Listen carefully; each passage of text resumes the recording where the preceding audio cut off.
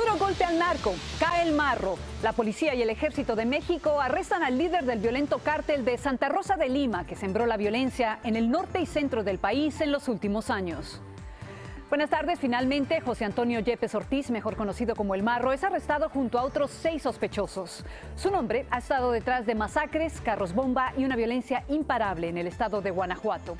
Esta es nuestra principal noticia. Y además, este domingo,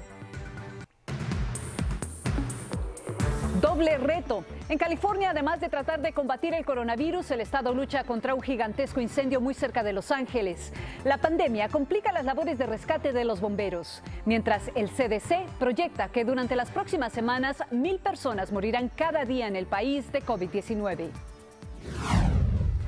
¿Qué pasa con la ayuda? Millones de estadounidenses esperan con angustia los cheques de ayuda económica de desempleo. Millones más podrían quedarse sin techo este mes.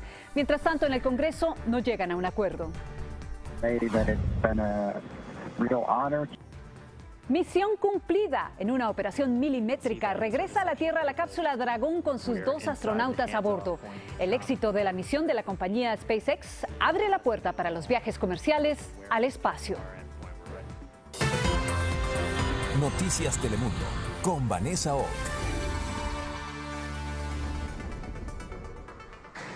splashdown. Después de dos meses en la Estación Espacial Internacional, la misión de la compañía SpaceX regresa a la Tierra en un acuatizaje que no se realizaba hace más de 45 años. Más adelante tendremos todos los detalles de esta misión histórica. Pero antes, comenzamos en México, donde el presidente Andrés Manuel López Obrador aseguró esta tarde que no pacta con el crimen organizado. Sus palabras se dan horas después de la captura del poderoso líder del cártel de Santa Rosa de Lima, José Antonio Yepes Ortiz, alias El Marro. La captura del capo supone el mayor golpe al narcotráfico que ha dado el gobierno de AMLO. Isa Osorio nos tiene todos los detalles del arresto. Muy buenas tardes, Isa, adelante, te escuchamos. Vanessa, este es el lugar exacto donde fue capturado esta madrugada el marro. Como te puedes dar cuenta, hay una muy fuerte movilización por parte del ejército, porque al parecer la casa donde fue esta captura había explosivos. Resignado a un futuro dentro de una cárcel de máxima seguridad, así se vio a José Antonio Yepes, alias El Marro, durante su detención. José Antonio Yepes Ortiz. Tras un breve interrogatorio, se alistó su traslado al penal del Altiplano. ¿Cómo te dicen a ti? Marro. ¿Cómo? Marro. Tres drones ubicaron la actividad del Marro en esta casa. Junto con él fueron detenidos otros ocho miembros del cártel y fue rescatada una mujer que estaba secuestrada en el lugar. Su detención causa un respiro entre los habitantes. estamos ya libres, que vamos a tener ya libertad de, de trabajar porque ya no podemos trabajar. Las autoridades federales y estatales confirmaron su detención a través de mensajes en redes sociales. Gracias ante todo. El Marro era el líder del cártel de Santa Rosa de Lima, dedicado al robo de combustible.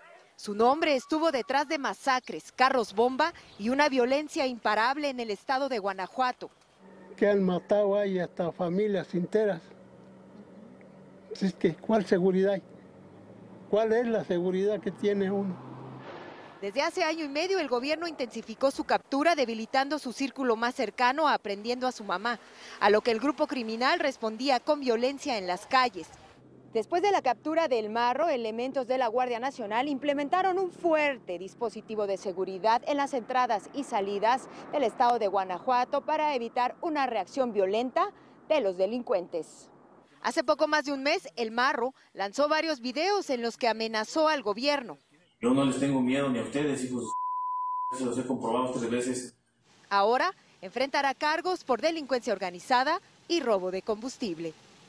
Pero a pesar de haber detenido al líder del cártel de Santa Rosa de Lima, muchos no creen que eso sea suficiente para reducir los índices de violencia en Guanajuato, donde todavía hay una muy fuerte presencia por parte del cártel Jalisco Nueva Generación. Es la información, regreso contigo. Muchas gracias, Isa Osorio, reportando desde Guanajuato. En 10 años, José Antonio Yepes pasó de robar camiones a liderar el cártel de Santa Rosa de Lima. El marro fue detenido en el 2010 por asaltar camiones de carga. Tras su liberación, cambió al robo de hidrocarburos. Entre el 2011 y el 2015 se alió con bandas criminales locales para robar combustible y comienza a escalar posiciones en el cártel que lleva el nombre de su comunidad y del que es su líder desde hace tres años. En el 2017 le declaró la guerra al cártel de Jalisco Nueva Generación, lo que ha colocado a Guanajuato como el estado con más homicidios del país. En su tiempo al mando hizo alianzas con otros cárteles, entre ellos el de Sinaloa, que le surte armas y sicarios.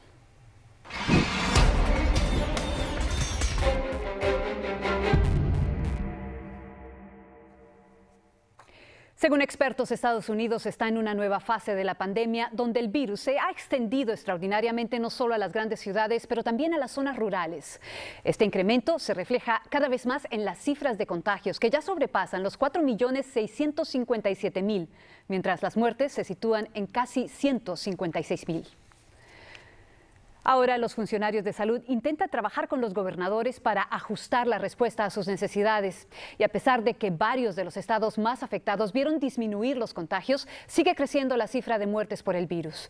Guadalupe Venegas está en California, donde los incendios al sur del estado ponen a prueba los protocolos de las autoridades para evitar nuevos contagios. Guadalupe.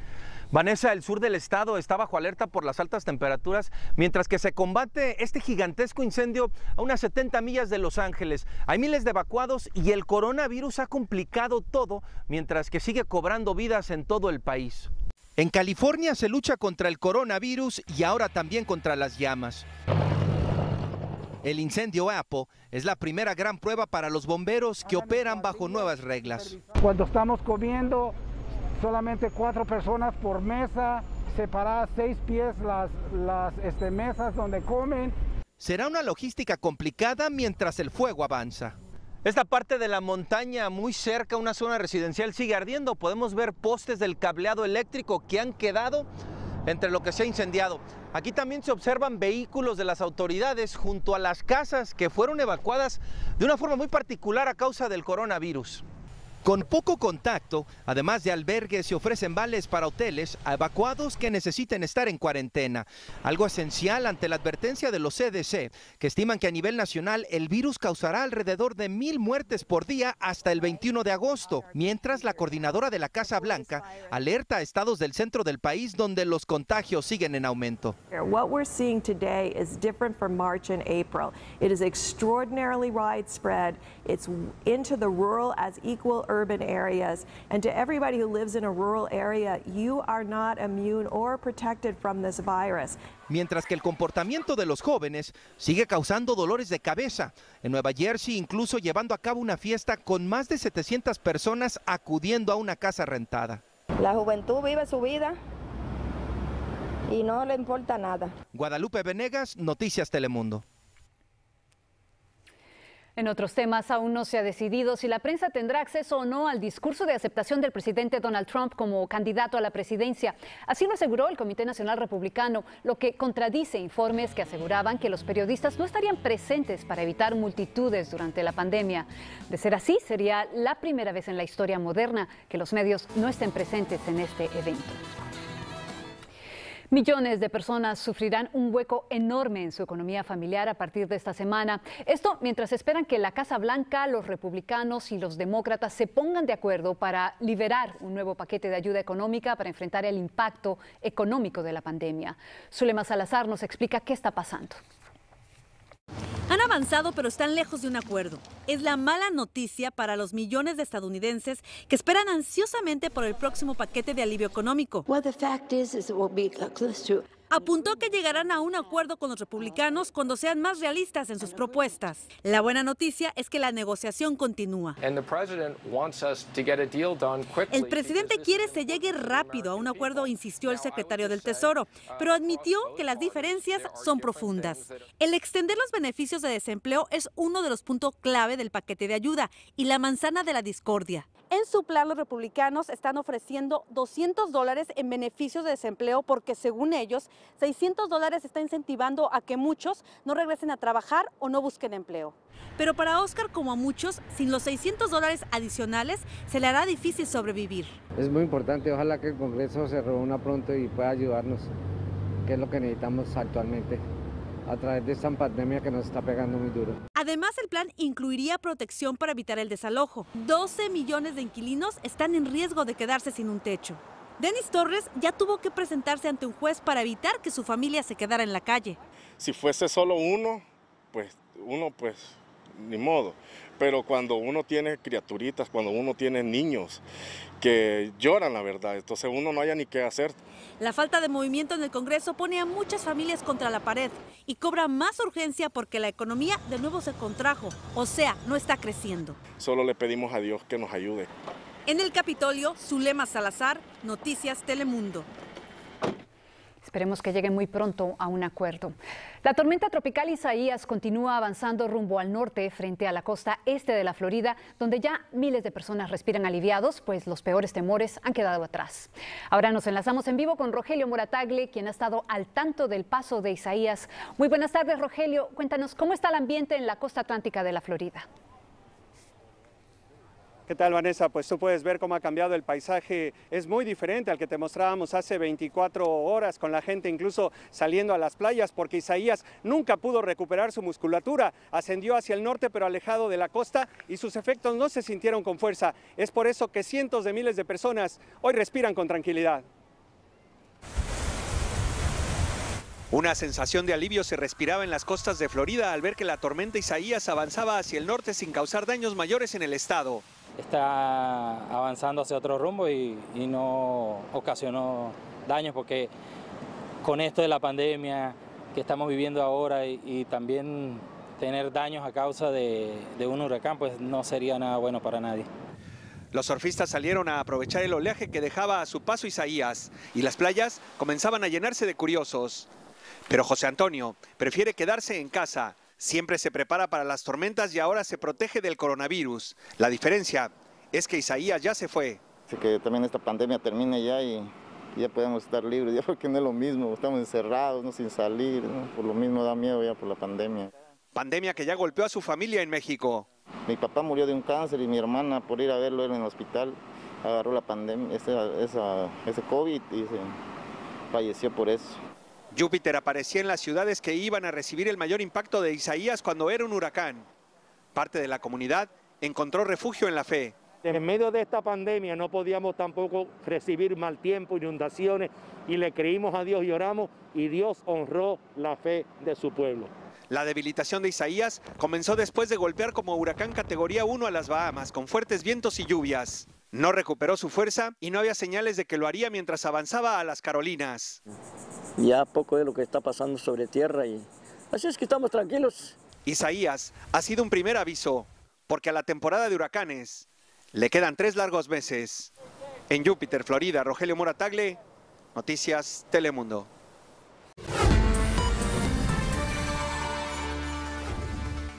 Mañana se cumple el primer aniversario de la masacre en un Walmart en El Paso, Texas, donde personas inocentes perdieron la vida a manos de un pistolero lleno de odio hacia los latinos. Yvette Sánchez, de nuestra estación Telemundo 48 en El Paso, nos cuenta cómo familiares, amigos y la comunidad en general están recordando a los fallecidos. En el aire se siente la tristeza por lo sucedido hace 365 días. Ese 3 de agosto, Patrick Crucius llegó desde Allen y abrió fuego en la tienda Walmart en East El Paso. Allí asesinó a 23 personas. Su intención, dijo después, era matar hispanos. Difícil para mí volver a recordar todo esto. Le habla Desi a mi hijo y le dice, están disparando. A un año de esta masacre, las heridas y el dolor todavía no sanan.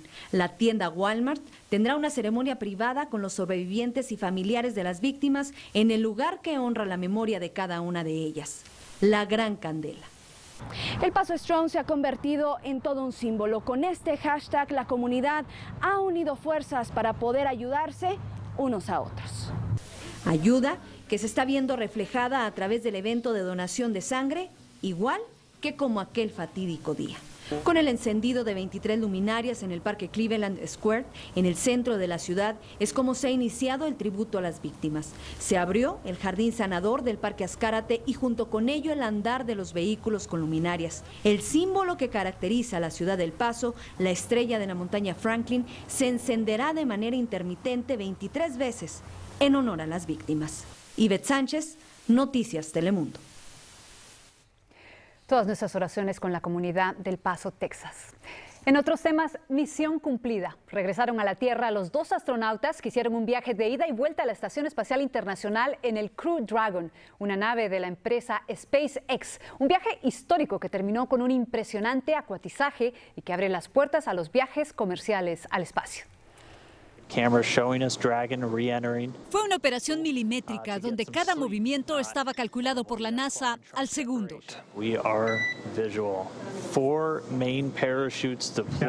Una vez la cápsula Dragón entró a la atmósfera terrestre, cuatro paracaídas ayudaron a estabilizarla y a alentizar su velocidad mientras se aproximaba al océano a 50 millas por hora. Así, a las 2 y 48 de la tarde, acuatizó en medio de aplausos la misión de la compañía SpaceX cerca de la costa de Pensacola, en la Florida, con dos tripulantes a bordo, los astronautas Bob Becken y Doug Hurley. Equipos de rescate de la NASA de inmediato acudieron a recoger a los astronautas. El regreso a casa les tomó 19 horas. Su llegada es la culminación de un viaje de dos meses que despegó de Cabo Cañaveral. Así finaliza la misión Demo 2, con la que se comprueba la capacidad de la compañía SpaceX de Elon Musk de realizar viajes al espacio. La misión fue la primera en 10 años en que la NASA envía astronautas a la Estación Espacial Internacional. La primera en 45 años en que una misión acuatiza en el océano. Y también la primera vez que se lleva a cabo con una compañía privada, abriendo así la puerta de la posibilidad a los viajes comerciales al espacio.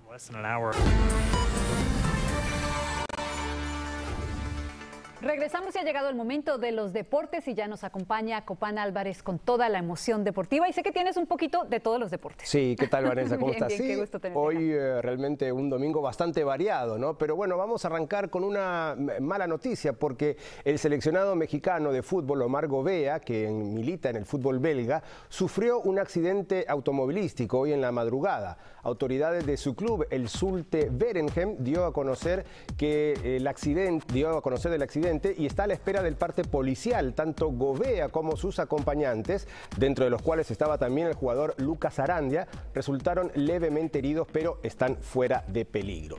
Pasamos al fútbol en España. A menos de una semana para el partido de vuelta de la Champions contra el Napoli, siguen los problemas entre el Barça y Arthur. El brasileño se negó a regresar para disputar los partidos de los octavos de final, aduciendo que no es tenido en cuenta por el entrenador azulgrana, ya que desde que se realizó su traspaso a la Juventus solamente ha jugado cuatro minutos en la recta final de la liga. El volante será sancionado por el Barça, según lo dijo el presidente Bartomeu. En la Serie A se definió el último descendido. Se trata de Leche, que perdió el partido frente al Parma por 4 a 3. Los Giallorossi debían ganar y esperar a que el Genoa no ganara su encuentro. Sin embargo, el equipo del Puerto goleó al Verona por 3 a 0 y así confirmó su participación en la Serie A en la próxima temporada. Y esta mañana se corrió el Gran Premio de Gran Bretaña y fue victoria de Lewis Hamilton en un final dramático, donde hubo un triple pinchazo de ruedas en las dos vueltas finales. El inglés reconoció que iba rezando en la última vuelta para que no lo alcanzara Max Verstappen y así poder conseguir su séptimo triunfo en el circuito de Silverstone. El segundo lugar, fue para el holandés de Red Bull, mientras que el podio lo completó el polaco Leclerc. Hamilton gana por, su, por séptima ocasión en Silverstone. Les recordamos que esta noche estaremos junto con el goleador Carlos Hermosillo para ampliar sobre estas y muchas más noticias, además de mucha diversión. Muchas gracias, Copán. Le tocaba ganar, ¿no? Tenía la llanta completamente pinchada. Totalmente, ¿no? Increíble lo que le sucedió. Increíble, nunca había pasado. Qué increíble. Nunca había pasado. Muchas gracias. Gracias a ustedes.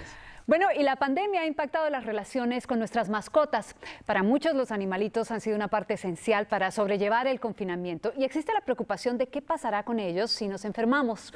Pero como nos cuenta Miriam Arias, hay organizaciones que tienen las respuestas. Seguramente es el repartidor más joven del mundo. A sus ocho años, este labrador entrega frutas, vegetales y comida empaquetada a domicilio y así ayuda a su familia, dueños de este mercado en Medellín, a mantener su negocio a flote en medio de la pandemia. Y alguien que tampoco ha tenido mucho tiempo libre es esta perrita neoyorquina. Shakira es la compañera canina y apoyo emocional de Avion, un niño de 11 años que sufre de convulsiones. Para el pequeño y su madre, es parte de la familia. Y es que es un amor mutuo aunque en los últimos meses estos animalitos también han sentido el efecto del virus. Hemos visto a personas que um, han evitado ir al médico o ir al hospital por miedo de dejar a su mascota sola en la casa, personas que han perdido su trabajo y no tienen el dinero para comprar comida para sus mascotas y sacrifican um, víveres para ellos mismos. Afortunadamente hay organizaciones que ofrecen comida y atención médica gratuita para las mascotas. En la crisis de salud que se vive hay una cosa que preocupa a muchos. ¿Qué pasaría con mi mascota si me enfermo o si todas las personas en casa llegan a enfermarse y ellos se quedan solos? Afortunadamente hay centros veterinarios que con todas las medidas de protección adecuadas van a las casas de personas hospitalizadas con COVID-19 y rescatan a las mascotas que quedaron atrás. Hemos llegado y ellos están sin agua, sin comida.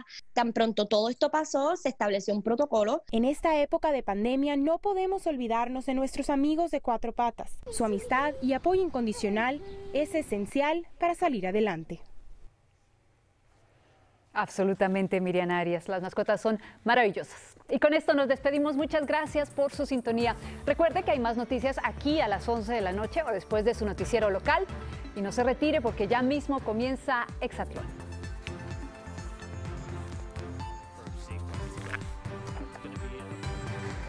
Splashdown.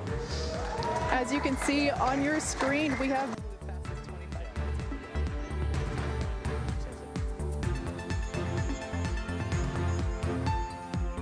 been a real honor. You can see the, the service section of Draco is just doing.